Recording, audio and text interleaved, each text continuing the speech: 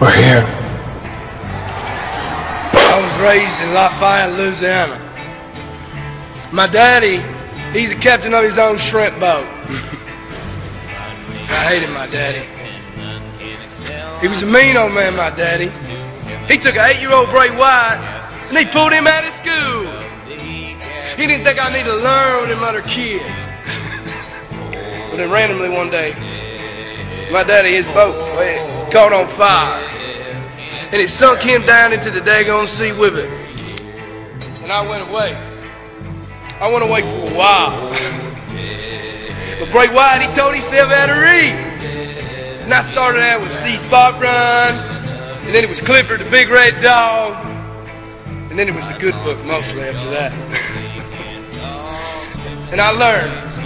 And I learned a lot of things. I learned how this world likes to throw away a little white trash peon like Bray Wyatt. Let me tell you something. I ain't no white trash. And I ain't no peon either. I am better than you all. And I wouldn't want to be that guy.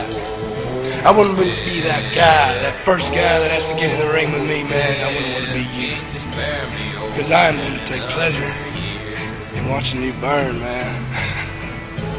Just like my daddy. Time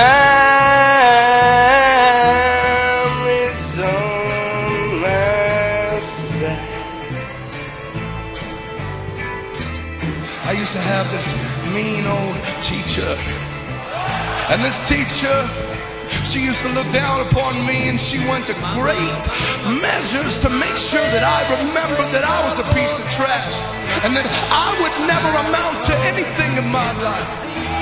She believed that everything she read in a book was true and that everything that I believed in was a lie. So, so I went up to her and I said, Miss Teacher Lady, what is it about you that makes you think that you're so much better than me?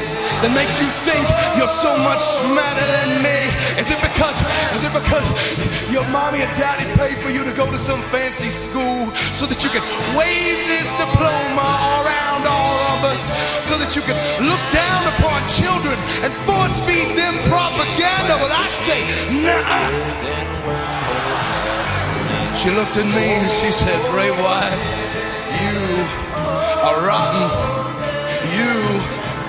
Stand for nothing. She said, Bray Wyatt, the first time that I ever looked inside of your eyes, I knew there was something inside of you.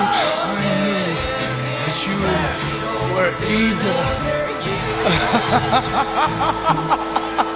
evil.